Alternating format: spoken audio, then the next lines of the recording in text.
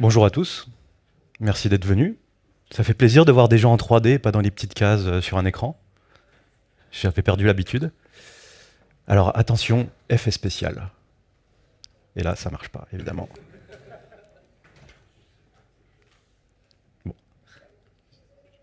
Non, ça veut pas marcher. Si le slide deck veut pas marcher, c'est la merde. Voilà. Alors, vous allez comprendre la métaphore plus tard. Aujourd'hui, je vais vous parler de frontières, de frontières techniques, fonctionnelles, expérience et sociales. Souvent, nous, en tant que geeks, on aime bien se concentrer sur la partie technique, mais il n'y a pas que ça. Alors, qui suis-je? Je suis Cédric Pontet, je suis euh, CTO d'une société euh, au Luxembourg qui s'appelle Agile Partner qui a 18 ans. Moi, je fais partie depuis 17 ans, donc euh, ça fait un petit moment. Ça fait une vingtaine d'années que je travaille au Luxembourg. Et je suis aussi cofondateur d'un événement qui s'appelle Play 14 euh, sur euh, les jeux. c'est pas le sujet du jour, donc on va passer là-dessus. je suis aussi un membre de la communauté Domain Driven Design, donc je vous le cache pas, on va parler Domain Driven Design à un moment ou un autre dans le talk. Et quand je vais dans des sociétés, c'est mon métier, je suis consultant, donc je vais chez des clients, et en général, les clients commencent avec des questions. Euh, c'est comment est-ce qu'on peut splitter notre système en microservices euh, Quel langage est-ce qu'on va utiliser pour euh, le coder? Bon, ça, En général, ils ont déjà des idées très arrêtées là-dessus. quel message broker est-ce qu'on va utiliser? Alors en ce moment, c'est Kafka qui est beaucoup à la mode, mais quel orchestrateur? Bon, c'est Kubernetes un peu partout, mais quand même, il y a des questions comme ça. Est-ce qu'on devrait utiliser plutôt REST ou euh, gRPC? Il y avait un talk juste avant sur euh, REST, gRPC et tout ça. Euh, et puis surtout, la question fatidique, c'est c'est quoi la taille idéale pour un microservice? Est-ce qu'il doit être petit, très petit, vrai, vraiment très très petit? Alors, la réponse, Coluche l'a trouvée il y a des années. La bonne longueur pour les jambes, c'est quand les pieds touchent bien par terre. Moi, j'ai pas mieux à dire pour les microservices. La bonne longueur d'un microservice, c'est euh, quand il fait le boulot, quoi. Donc, toutes ces questions-là, elles sont importantes. Maintenant, est-ce que c'est vraiment les plus importantes qu'il faut se poser quand on commence à travailler sur un découpage euh, en des choses un peu plus atomiques? J'en suis pas si sûr. C'est pas les questions avec lesquelles on devrait commencer. Et parfois, j'aurais bien envie d'avoir un petit euh, Jedi Mind Trick et de pouvoir dire aux gens euh, ce ne sont pas les frontières que vous recherchez. Malheureusement, c'est pas aussi simple que ça. Donc, euh, on a quand même deux trois outils qui nous aident à faire ces découpages et à aider les gens, les entreprises, les organisations à réfléchir, à prendre un peu de hauteur, à laisser la technique un peu de côté pendant un moment, et puis à réfléchir plutôt à d'autres sortes de découpages. En fait, les bonnes questions qu'il faut se poser quand on euh, a ce genre de démarche, c'est quoi, pourquoi et pour qui? Alors, je vous ai parlé de quatre types de frontières que moi personnellement j'ai identifiées. Euh, il y en a peut-être d'autres, mais en tout cas c'est de celle-là qu'on va parler aujourd'hui, dont on va parler aujourd'hui. Donc, les technical boundaries, hein. donc là euh, on parle de technologie, d'outils, de langage, euh, de euh, déploiement, d'unités de déploiement, de conteneurs, de fréquences de changement, des choses comme ça. La, la question principale, moi, qui m'intéresse sur cet aspect technique, c'est la question de couplage. Et on va y revenir. La deuxième type, c'est les frontières fonctionnelles. Je vous ai dit, Domain Driven Design, il y a une notion en Domain Driven Design qu'on appelle les domaines, les subdomains, les bandits de. Donc ça, on va en parler un petit peu. Et ce qui m'intéresse là-dedans, c'est la notion de capability. Une capability pour une entreprise. en anglais, je sais jamais, en français, je sais jamais trop comment traduire capability. Euh, c'est pour ça que je, de toute façon, les slides sont en anglais, donc euh, je, vous laisse euh, faire la traduction. Ensuite, on a la notion d'expérience, et là, on va parler d'utilisabilité euh, on va parler de, euh, ben, finalement, pour qui est-ce qu'on fait tout ça? C'est pour un utilisateur. C'est quelqu'un qui va se servir des choses qu'on va lui, euh, offrir. Et enfin, le dernier type, c'est vraiment la notion sociale. Et là, quand je dis sociale, c'est en termes de structure d'organisation. Donc, euh, ce qui m'intéresse, moi, c'est l'autonomie des équipes. Et souvent, quand on parle de microservices, on parle aussi de euh, quel microservice appartient à quelle équipe. Donc, En général, quand on est dans les frontières techniques, c'est euh, la fête au buzzword. Donc, euh, on est euh, en ce moment beaucoup dans Kubernetes, dans Docker, de gRPC, Kafka, les Azure Functions, les Lambda, les, enfin, tous les clouds possibles et imaginables. Et là, on en a pléthore. Et souvent, d'ailleurs, on s'y perd. Mais c'est pas de ça dont je veux parler aujourd'hui, parce qu'une fois de plus, ça, vous trouvez ces infos dans des bouquins. Alors je sais, c'est un peu old school, les bouquins. Il y en a qui disent qu'ils... Enfin, la keynote ce matin, on disait qu'on lit des bouquins maintenant euh, beaucoup en numérique. Moi, j'aime encore bien le vieux bouquin papier quand, euh, quand il s'agit de bouquins techniques.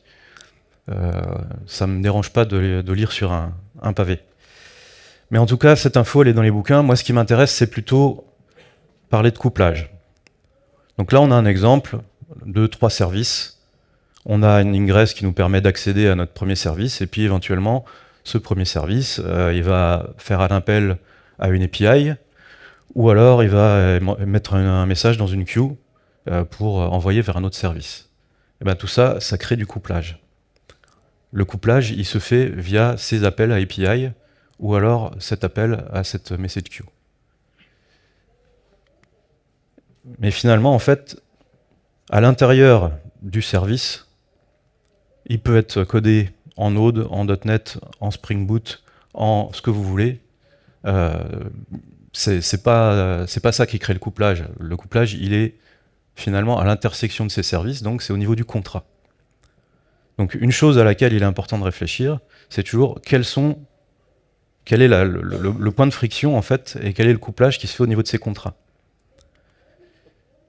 Et on peut avoir par exemple un service, un provider qui expose tout un contrat et qui n'est consommé que partiellement par un autre service.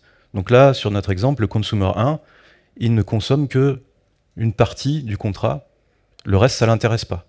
Donc avoir finalement euh, un service qui euh, va être tolérant euh, à ce qu'il lit, ça nous aide à réduire ce couplage. Donc le fait qu'il y ait des champs supplémentaires finalement dans ce que me retourne mon API, bah, si je les ignore parce que j'en ai pas besoin, ça réduit mon couplage. Et puis après, ben, euh, on a euh, des standards qui existent. Donc OpenAPI, euh, JSON API, Async API, Cloud Events, toutes ces choses-là, ça nous permet aussi de dire, bah voilà, pour l'instant j'ai un service dans une version 1, euh, qu'à ce contrat-là, si je le remplace par un service dans une version 2, à partir du moment où je garantis mon contrat et que mon contrat utilise un standard, finalement, bah, j'ai vraiment un couplage qui est limité à, uniquement ce contrat-là. Donc là, on vient de parler un petit peu des frontières techniques. Et finalement, une fois de plus, ce hein, c'est pas l'implémentation qui est le plus intéressant, c'est cette notion de couplage entre des services pour pouvoir facilement les faire évoluer, les changer. Maintenant, je voudrais vous parler de deuxième type de frontières, qui sont les frontières fonctionnelles.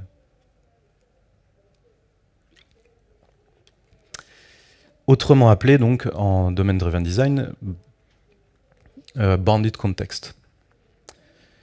Donc,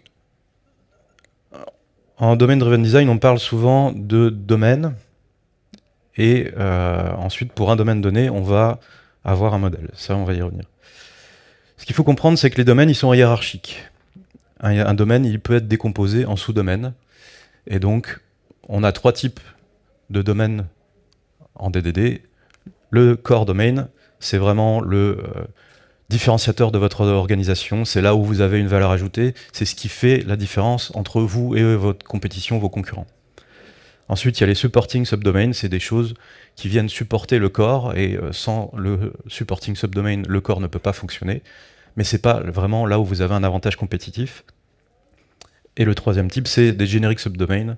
L'exemple qu'on donne souvent, c'est euh, bah, Identity Manager, par exemple, euh, tout, ce qui est, identité, euh, c'est la même chose à peu près dans toutes les apps. il y a eu un talk intéressant hier sur OAuth, On ne, codez pas votre propre identity manager, il y a des outils qui existent pour ça. Euh, la comptabilité, la comptabilité c'est quelque chose de très très très cadré, il y a des règles comptables qui existent.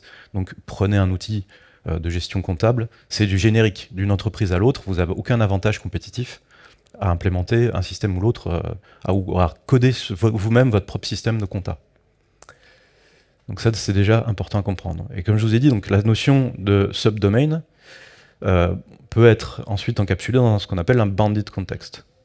Donc un subdomain, c'est quoi? On parle de personnes qui vont travailler au sein de l'organisation, ou alors qui vont avoir un besoin auquel euh, l'organisation essaie de répondre. On va parler de process, on va parler d'outils. C'est le monde réel. Un bandit context, on n'est plus dans le problem space, on est dans le solution space. C'est finalement un modèle et un langage. Donc on va essayer de coller au langage de notre domaine. Donc un domaine fonctionnel, il a euh, son propre jargon, entre guillemets. Et, euh, on va essayer vraiment d'encapsuler, de modéliser euh, la vraie vie, la réalité, sous forme d'une abstraction qui est un modèle et qui va utiliser le langage de ce domaine fonctionnel. Ça va jusque-là? Je vous, vous perds pas trop? Qui connaissait la notion de bandit de contexte avant? Ok, vous n'êtes pas si nombreux que ça. Bon, finalement, c'est bien que je continue à faire des talks sur DDD. J'ai des fois l'impression que tout le monde connaît ça, mais non. Euh, donc, un bandit de contexte, finalement, c'est euh, un sous-système dans une euh, architecture logicielle qui est aligné avec une partie du domaine. Et on peut retrouver dans deux bandits de contexte séparés le même, terme. Typiquement, euh, dans une banque, banking account, vous allez le retrouver à plusieurs endroits. Mais il existe dans ces deux contextes pour une bonne raison, c'est que la sémantique va pas être la même. Si vous demandez au niveau euh, du euh, banking context ce que c'est qu'un compte bancaire, bah, ça va être quelque chose d'essentiel qui, est qui est géré par la banque, etc. Si vous êtes dans le bandit context de l'expense tracking, c'est juste une information qui va vous permettre de rembourser les expenses euh, de vos employés, par exemple. Donc vous voyez, c'est la même notion. Par contre, on n'attend pas du tout le même comportement, on n'entend pas du tout la même chose. Du coup, on ne va pas le modéliser de la même manière. Alors, comment est-ce qu'on identifie les bandits de contexte? Bah, C'est une vraie question. Les bandits de contexte, c'est un peu comme des Pokémon. Alors, je vous cacherai pas, je sais même pas pourquoi j'ai choisi cette métaphore, parce que c'est pas du tout ma génération, c'est plutôt Albator et Goldorak, mais euh, c'est un peu comme les Pokémon, il y en a plein, euh, ils ont plein de formes différentes, ils ont plein de tailles différentes, et euh, ils sont un peu flous, et, c'est pas évident de les identifier, sauf si on connaît vraiment très très très bien son domaine fonctionnel. malgré tout, ben, on, a, on a des outils pour ça. Alors, ça vous paraît un peu abstrait peut-être, donc euh, moi je travaille depuis quelques années avec euh, une compagnie qui fait du cargo aérien au Luxembourg, je vous laisse deviner laquelle. Voilà un exemple dans le monde du cargo aérien de ce que peuvent être des euh, domaines et des sous-domaines ou des bandits de contexte. Donc on a, bah, il faut qu'ils vendent, hein. donc il faut qu'ils ont toute une un effort commercial. Donc, euh, il y a Customer Relationship, donc un CRM. Ça, c'est pas exceptionnel. Il y a un système de quoting. Il faut qu'ils puissent dire bah, combien ça va coûter pour que le client puisse savoir s'il va faire appel à eux ou pas. Ensuite, il y a un système de booking. Euh, ensuite, il y a. Alors, j'ai mis le marketing dans le sales. Euh, on pourrait arguer que c'est un bandit de contexte séparé, mais en l'occurrence, ça pourrait rentrer là-dedans. Après, il y a un truc qui s'appelle Global Logistics avec un gros, gros, gros euh, truc à l'intérieur qui s'appelle Cargo Management. Ensuite, il y a Flight Ops, donc euh, dedans on retrouve euh, bah, Flight Safety, le crew management, le, tout ce qui est l'équipement. Les pilotes sont des iPads qu'ils emmènent avec eux, avec les plans de route, les trucs comme ça. tout ce qui est flight planning. Ensuite, il y a tout ce qui est messaging, donc il y a beaucoup d'échanges de messages avec les systèmes internationaux, donc CITA, avec les douanes dans les différents pays, etc., etc. Ils ont ensuite tout ce qui est maintenance des avions, donc euh, ils ont des Boeing, euh, donc euh, ils ont des, spécificités avec Boeing. Il y a toute la partie finance, la partie finance et analytique. Donc vous voyez que là-dedans, il y a des trucs qui sont très très spécifiques à leur business. c'est là où ils ont leur, avantage compétitif. voilà. Par contre, accounting, bon, bah, c'est comme n'importe quelle entreprise, ils font de l'accounting et, et ils ont une obligation légale de le faire. Donc ils n'ont aucun avantage à essayer de mettre un, un focus particulier sur, euh, sur l'accounting, même si c'est une, obligation. Par contre, euh, je pense que le cargo management, chez eux, c'est quand même un petit peu leur cœur de métier. Euh, et sales, c'est très important aussi. Il faut qu'ils arrivent à vendre, il faut qu'ils arrivent à faire des bookings qui soient le plus juste possible pour que leurs clients décident d'aller vers eux. Donc comment est-ce qu'on découvre des bandits de contexte? Bah, Il y a toute une équipe qui s'appelle le DDD Crew, qu'on retrouve sur GitHub, qui depuis un certain temps déjà euh, travaille sur euh, essayer de, consolider euh, une espèce de démarche pour pouvoir ben, mettre en œuvre une domain-driven design. Et ça commence par comprendre le domaine, les sous-domaines, et puis ensuite découvrir, pouvoir vraiment les, les, identifier, décomposer ensuite, euh, et puis ensuite organiser, euh, connecter les choses les unes avec les autres, euh, avoir des stratégies ensuite pour faire évoluer les bandits de contexte, etc. Donc vous allez sur le GitHub, hein, vous trouvez tout ça, il y a toute, une démarche qui est assez, bien foutue. Et on commence en général par la découverte, et pour ça, il y a l'arme ultime de, de Domain Driven Design qui est Event Storming. Donc Event Storming, c'est on a, euh, ça a été inventé par euh, Alberto Brandolini. Alors ceux qui me connaissent euh, savent que je suis un grand fan d'event storming et j'ai déjà fait des talks ici à propos de cette technique. donc on va avoir un grand morceau de papier. je voulais mettre une photo, j'ai oublié de la mettre. par exemple, voilà, sur un, beau grand mur comme ça, comme il y a sur le côté, on va mettre un grand morceau de papier et puis on va, avec des post-it et les bonnes personnes dans la pièce, essayer de modéliser sous forme de domain event. Un domain event, c'est quoi? Bah, C'est quelque chose qui s'est passé. Euh, ça est représenté par un post-it orange. Pourquoi orange? Parce que Alberto Bandolini a dit que c'était orange. Euh, et un domain event, ça va dire par exemple bah, ticket sold. Donc si vous prenez l'exemple d'une conférence, il faut organiser une conférence, votre objectif c'est de vendre un ticket, donc vous avez un event qui va être ticket sold. Après vous avez plein plein d'autres events. Alors là c'est un, talk que j'avais fait où j'ai repris juste le slide où on est euh, dans un, système de, vente en ligne, hein, de e-commerce. Donc bah, vous avez euh, par exemple euh, tout ce qui est la gestion des ordering, ensuite il y a le, shipping, ensuite il y a le... Et on peut comme ça identifier des frontières, parce qu'on voit que le langage change d'un domaine event à un autre. on voit que bah, on va avoir une espèce de transition, souvent on parle de pivotal event, un event qui fait la transition entre un bandit context et un autre. Et puis on va faire émerger comme ça finalement en fait ces espèces de bulles euh, avec des, euh, euh, bah, des post-it qui, sont, qui se regroupent assez naturellement. Et, c'est flagrant quand moi je déroule des event storming. Souvent on commence à avoir des vides. En fait, il y a un groupe de post-it, puis après il y a un blanc, puis après il y a un autre groupe de post-it, puis encore un blanc. Et en fait, quand on demande aux gens, bah, vous mettriez où la frontière? Bah, C'est exactement là où les blancs sont. Donc ils le font naturellement sans s'en rendre compte en fait.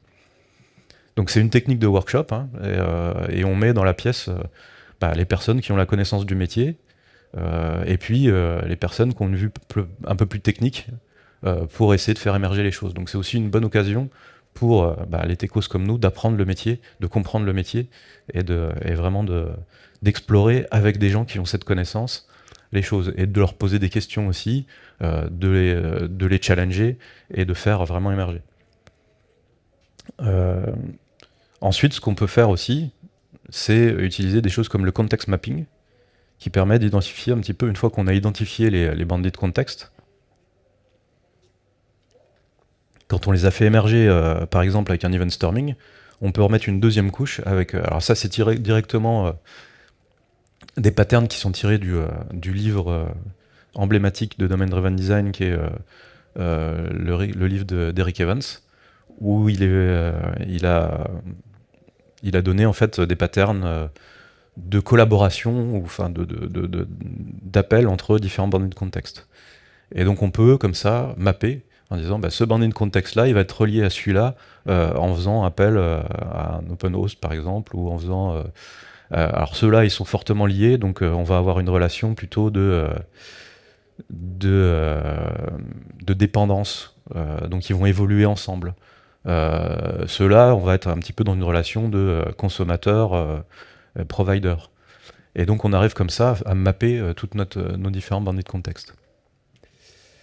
Et puis, il y a Nick Tune, euh, qui est aussi un des leaders dans, la communauté de Domain Driven Design, qui a fait un truc, et c'est aussi dans le, les, euh, outils euh, sur le GitHub de DDD Crew, qui est le Bandit Context Canva. Donc pour ceux qui connaissent les Canva, alors on a le Business Model Canva, on a le Lean Canva, on a, il, y a, toute une palanquée de Canva maintenant, et il s'est inspiré de ça pour faire en fait ce Canva qui permet de documenter en fait les bandits de contexte. Donc on peut comme ça aller crescendo avec des choses de plus en plus précises, de plus en plus affinées, et on commence à bien identifier finalement nos frontières fonctionnelles euh, de, de, nos systèmes. Et donc, c'est quoi la différence entre la frontière fonctionnelle et la frontière technique? Euh, On voit souvent, euh, on a entendu en fait un bandit de contexte égale un microservice, mais c'est pas tout le temps vrai, parce que Alberto Bandolini nous dit c'est pas du tout la même, la même intention qu'il y a derrière. Un bandit contexte, euh, c'est son objectif qui nous intéresse. Euh, dans les microservices, finalement, c'est la facilité à déployer. Donc on n'a pas les mêmes, les, intentions, on n'a pas les mêmes objectifs. Et du coup, bah, il n'y a pas forcément un mapping un pour un. Donc des fois, un bandit de contexte peut être représenté par un seul microservice, parfois ce sera plusieurs, il va falloir les, euh, encapsuler, les, faire collaborer au sein de ce bandit de contexte.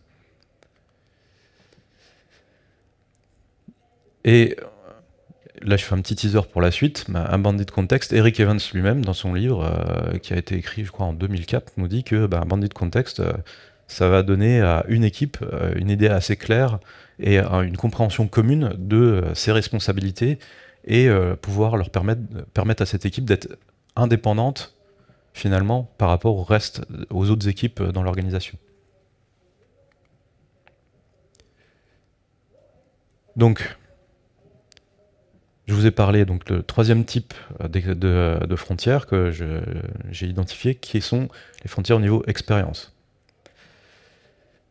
Alors, c'est toujours quand même bien quand on est dans, dans, le développement logiciel, de se dire pour qui on fait les choses, et donc de penser à nos utilisateurs. Je sais que parfois ça surprend, mais on fait les choses pour quelqu'un, pour lui rendre service. Et donc souvent, on les oublie, mais c'est quand même pour eux qu'on travaille, quelque part.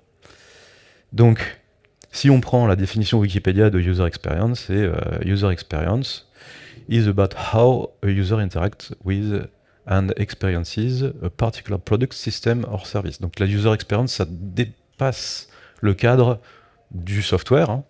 On peut considérer que euh, la user experience, euh, c'est aussi avec un produit physique. Quoi, genre, c'est quoi l'expérience de pouvoir bien ouvrir la bouteille d'eau et de pouvoir boire sans s'en mettre partout souvent, on, on, cantonne ça au cadre de juste le software, mais c'est plus large que ça.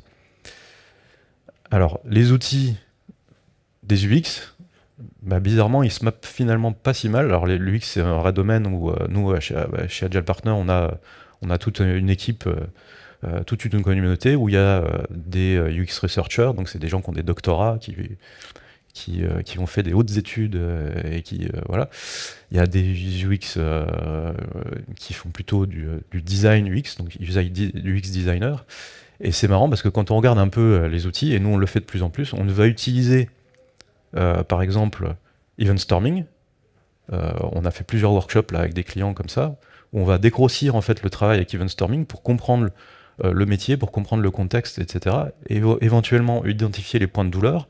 Et ensuite, on va venir avec des outils comme Customer Journey qui vont pouvoir aller creuser un petit peu, bah, ok, pourquoi ça se passe mal, pourquoi c'est douloureux pour l'utilisateur dans ce cadre-là finalement, à ce moment-là, pourquoi est-ce qu'il y a une difficulté, euh, et du coup, on va utiliser ces outils qui sont Customer Journey et qui viennent plutôt du monde de l'UX. Et finalement, en fait, ils se complémentent assez bien.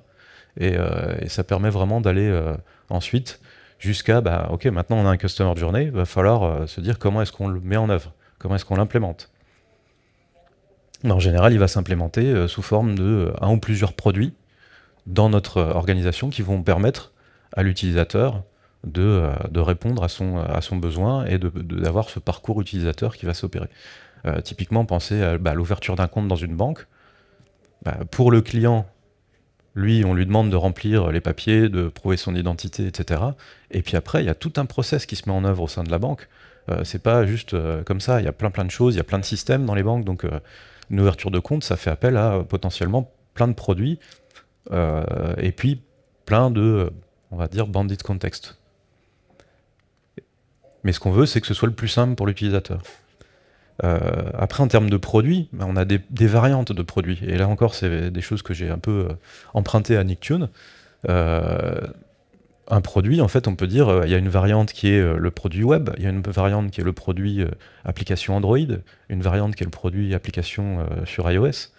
Et du coup, toutes ces variantes, bah, comment elles vont évoluer dans le temps? Si vous parlez du user experience, si vous avez une partie des fonctionnalités qui sont disponibles uniquement sur le web et pas sur les apps mobiles, ça peut devenir très frustrant pour l'utilisateur. Vice-versa aussi. Donc euh, l'objectif de l'UX, c'est quand même que ce soit le moins confus pour l'utilisateur et qu'il n'ait pas besoin de, se dire ah bah tiens attends ça il faut que je le fasse par mobile parce que ça c'est disponible en mobile. Euh, par contre ça je vais le faire dans le web parce que sinon euh, c'est pas dans le mobile. Donc on, doit avoir une sorte de parité. Donc ça demande un peu de s'organiser aussi pour faire ça.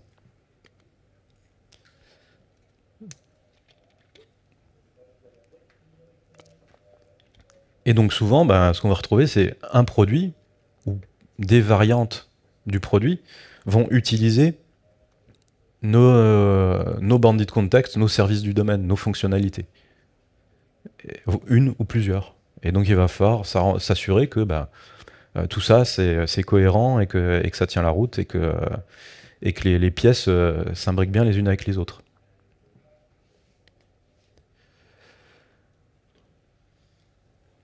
Finalement, je vais assez vite, c'est bien.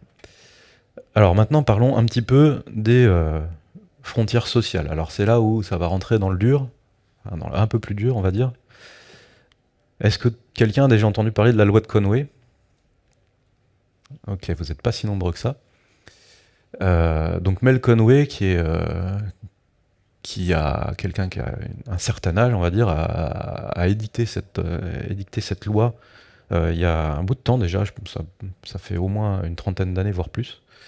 Euh, et il nous dit que dans toute organisation, en fait, on va avoir tendance à euh, designer des systèmes d'information en euh, copiant la structure de communication de l'organisation. Alors qu'est-ce que ça veut dire? Ça paraît un peu compliqué comme ça. Ça veut dire qu'en gros, ben, si vous avez des équipes avec ben, une équipe front-end qui fait que du front-end, une équipe qui fait que du back, et puis des DBA, eh ben en gros, vous allez avoir tendance à vous retrouver avec une architecture en couche, avec un front-end, un back-end et une database. Chacun sa responsabilité, etc. Component teams.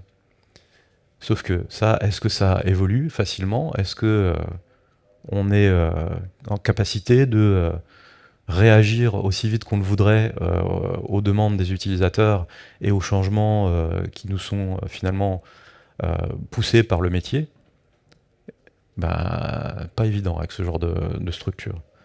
Donc, l'agilité nous a dit, si vous regardez un petit peu ce, que Scrum recommande, etc., bah, c'est d'avoir des équipes cross-fonctionnelles. Alors souvent, on comprend ça d'une manière où on dit tout le monde est capable de tout faire euh, au même euh, niveau d'expertise dans une équipe cross-fonctionnelle, c'est pas exactement ça.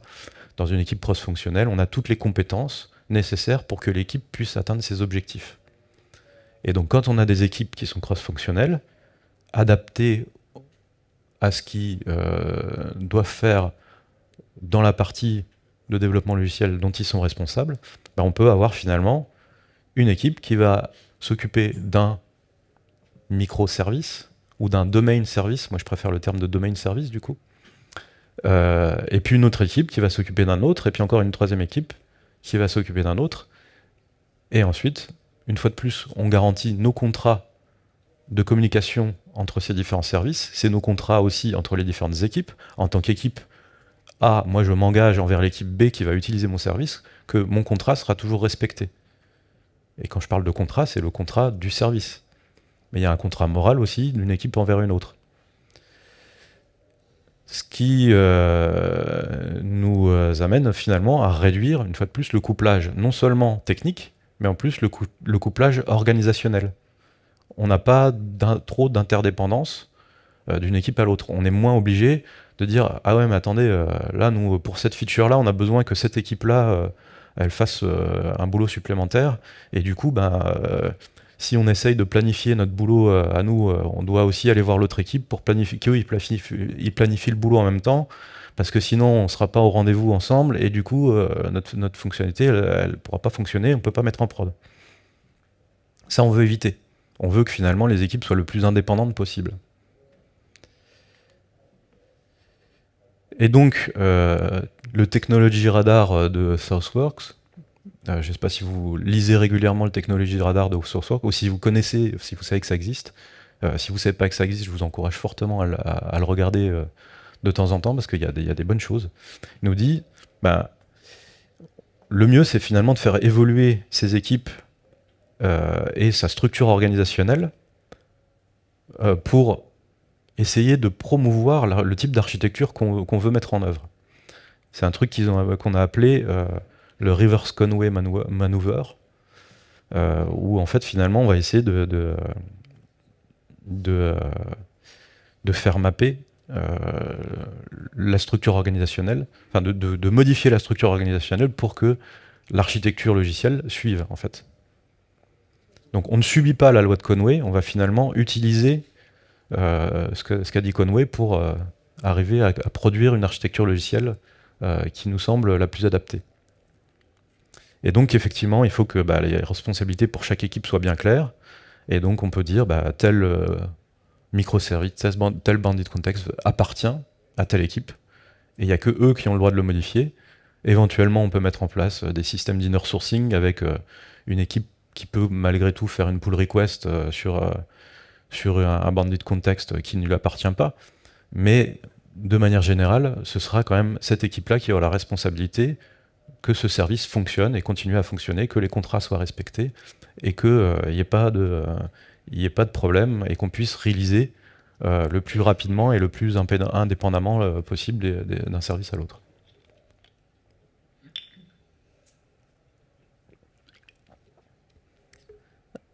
Alors, en partant de la loi de Conway, il y a euh, ces deux personnes, Matthew Skelton et Emmanuel Pais, qui euh, avait déjà fait en fait un travail sur euh, la manière dont les équipes DevOps euh, s'organisent et les différents patterns qu'on peut trouver et qui sont qui ont un peu continué dans la même veine mais sur les équipes en général plus en, prenant un peu plus de hauteur par rapport à ce qu'ils avaient fait sur DevOps et qui sont venus avec ce alors c'est un bouquin qui est vraiment passionnant je vous encourage à le lire. Moi je l'ai vraiment vraiment bien aimé donc il s'appelle Team Topologies. Et donc l'idée c'est de dire, bah, ils ont identifié quatre grands types d'équipes. Donc il y a les équipes qui s'appellent Stream Aligned. Donc l'objectif d'une équipe Stream Aligned c'est de répondre à un besoin métier. Donc euh, en général elles vont être alignées avec quoi? Avec une ligne métier. Euh, ils vont travailler pour une branche de l'organisation donnée, ils vont être en rapport vraiment fréquent avec cette branche métier, avec une forte collaboration.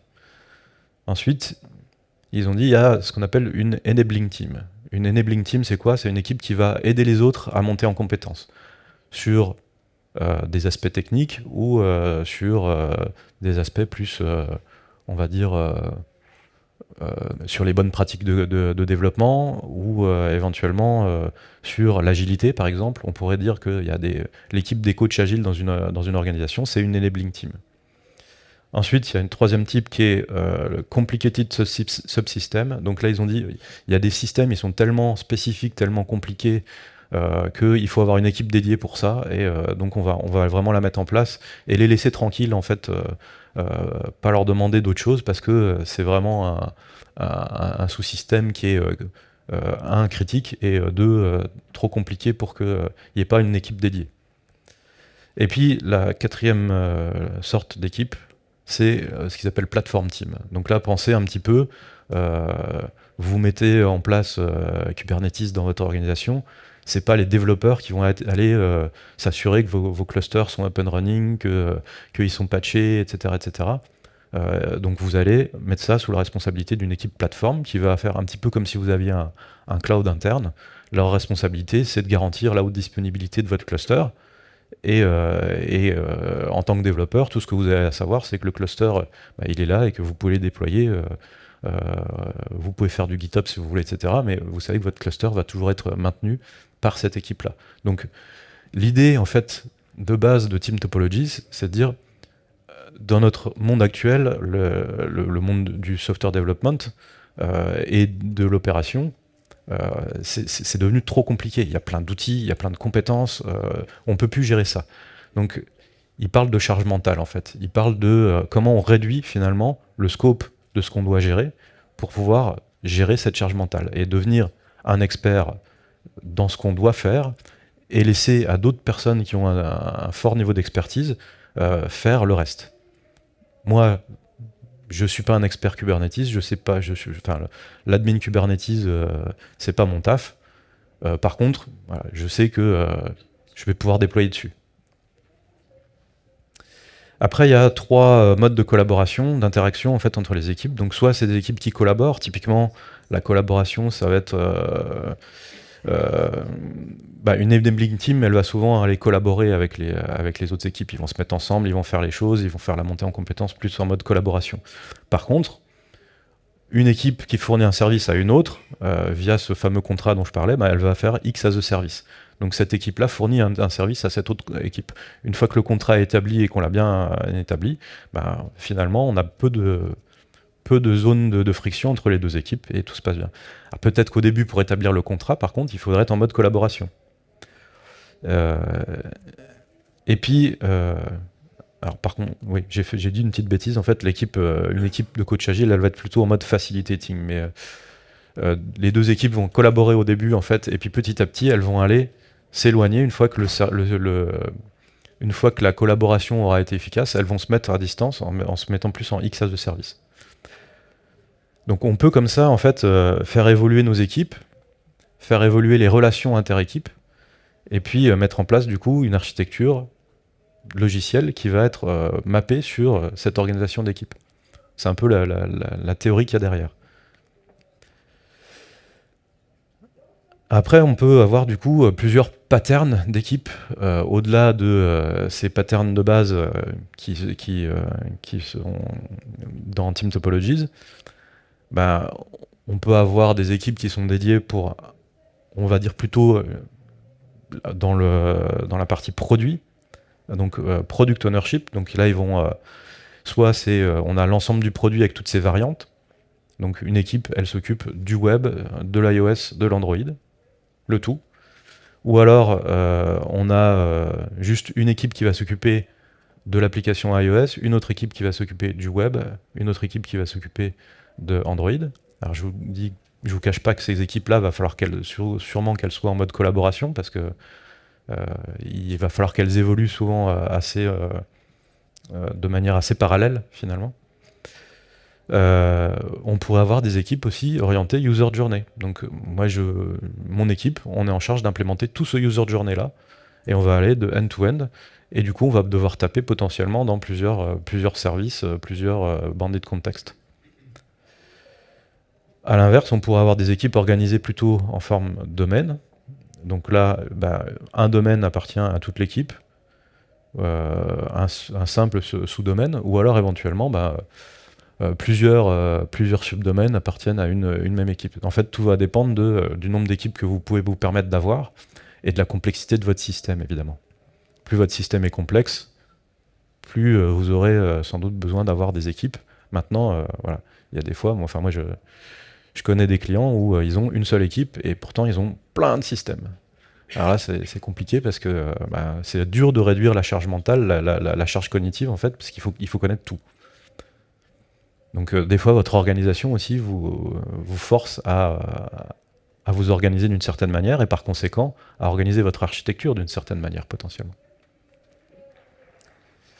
Alors est-ce que le Saint Graal, ce serait euh, d'avoir finalement une équipe end-to-end qui s'occupe à la fois du front, euh, de domaine et puis qui fait tout Éventuellement d'avoir des équipes qui soient suffisamment autonomes pour pouvoir prendre en charge tout ou partie d'un user journey et puis vraiment du, du front jusqu'au back, etc. Bah, c'est un petit peu ce que ce qu'on peut retrouver, en tout cas, il y, a une approche comme ça qui s'appelle Domain Oriented Microservices Architecture. Alors c'est un article qui a été écrit par Uber il, y a, il y a quelques temps déjà, où ils ont revu leur manière de s'organiser euh, pour, euh, mettre en place justement une, structure. Alors ils ont mélangé un petit peu euh, une structure microservice qu'ils avaient déjà, mais à un moment c'était devenu tellement compliqué de, raisonner sur les différents microservices et qui, à qui ils appartenaient, parce qu'ils en avaient beaucoup, qu'ils se sont sentis obligés de réorganiser un peu les choses. Et donc ils ont adapté une sorte d'architecture en couche pour organiser les microservices. Et donc à chaque fois, ben, on, pourrait dire, alors je ne sais pas si c'est le cas d'Uber, hein, euh, là j'ai, euh, moi j'ai fait le petit, le petit schéma comme ça, mais en gros, ben, on dit bah, finalement, on peut avoir une équipe qui a euh, une partie product layer et une partie de la business layer, et puis une autre équipe qui est une partie de la business layer, une partie de l'infrastructure layer, et à chaque fois, en fait, c'est des microservices qui sont ensuite sous une gateway pour que vis-à-vis du reste des services, euh, il n'y ait qu'un seul point d'entrée.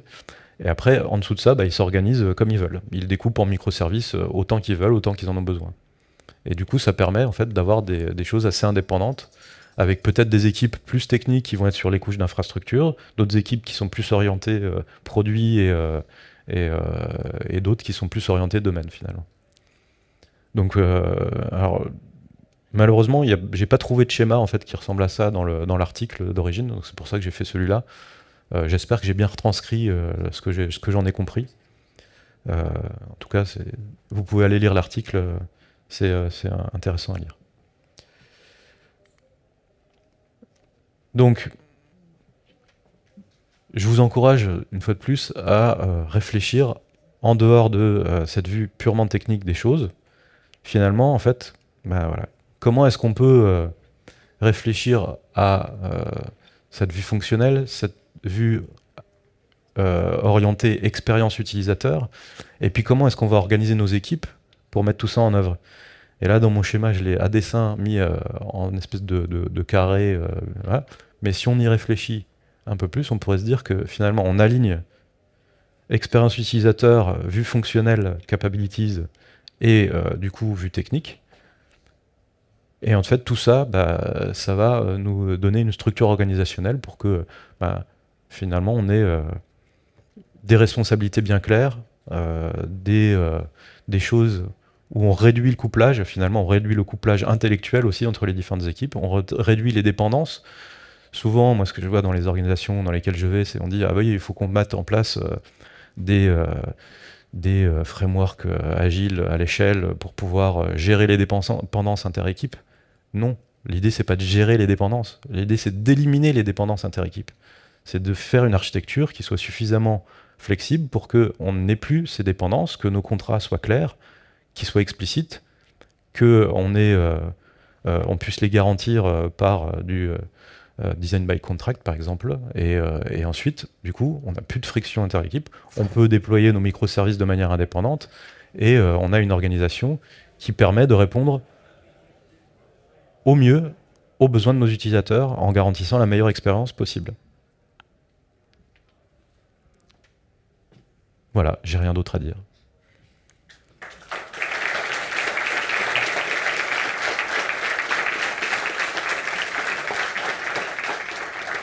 On a, on a 7 minutes pour des questions.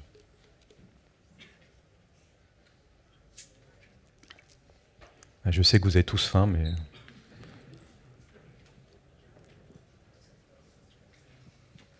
Merci. Merci pour la présentation. Euh, c'est un peu compliqué. Ok, c'est bon. Quand on fait le découpage, euh, est-ce qu'on doit soit choisir, par exemple, pour définir nos frontières, bon, ok, je vais, je vais prendre mes systèmes et je vais faire tout en me basant sur euh, le fonctionnel, le technique, le, technique, le social, ou est-ce qu'on peut justement faire un mélange, c'est-à-dire cette équipe-là, elle sera user journey, celle-ci, elle sera technique, parce que si on a les quatre types sur un grand système qui se mélangent, ça commence à devenir... Euh, ouais. Alors, moi, mon approche, c'est plutôt justement d'avoir une approche un peu mélangée. C'est de dire, on ne peut pas juste se baser sur la technique, parce que euh, on risque d'avoir euh, des choses qui sont pas finalement euh, pas si maintenables que ça et qui répondent pas bien aux besoins.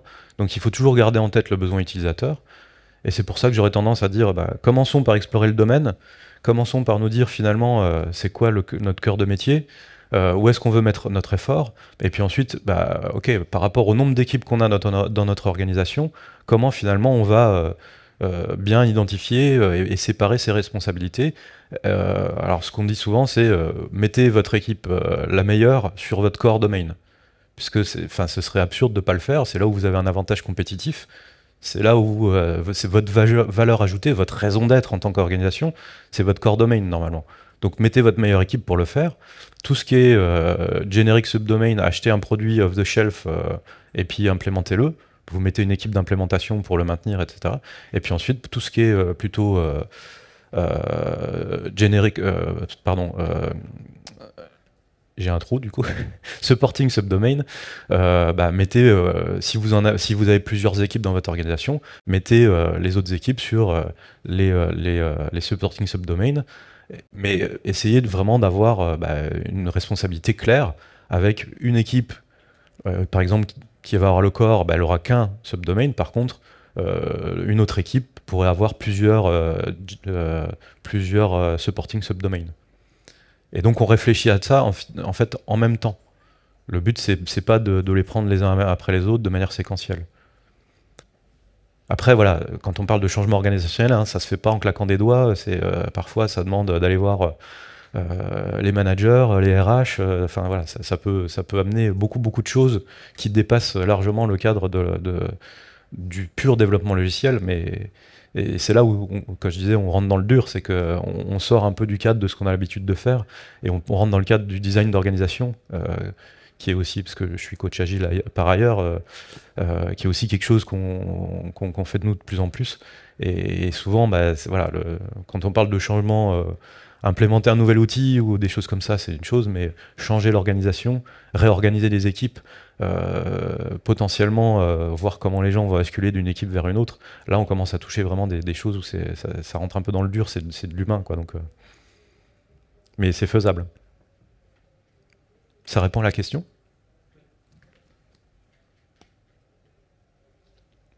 D'autres questions?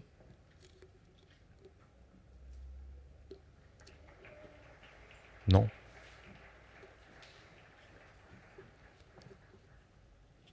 Eh ben, si vous n'avez pas d'autres questions, je vous laisse aller euh, manger votre plat de pâtes.